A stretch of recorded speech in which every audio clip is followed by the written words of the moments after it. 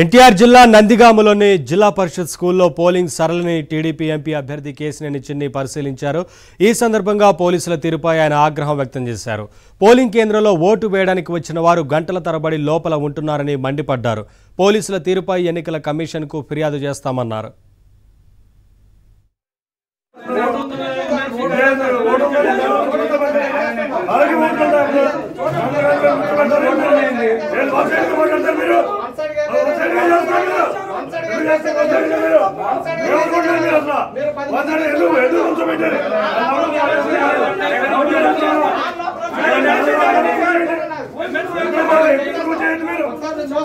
ఏం చూస్తారు మీరు అన్ని చేస్తారు ఇవాళ నందిగామ నియోజకవర్గంలో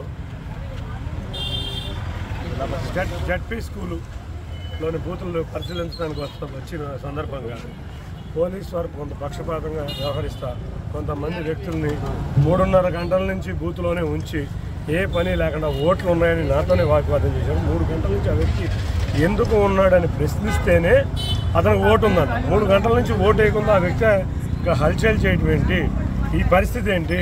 ముఖ్యంగా ఇక్కడ టూ టౌన్ ఎస్ఐ చెక్ చాలా ఎక్కువగా మాట్లాడి అటువంటి వ్యక్తుల్ని బయటకు పంపించకుండా అతనికి ఓటు ఉంది.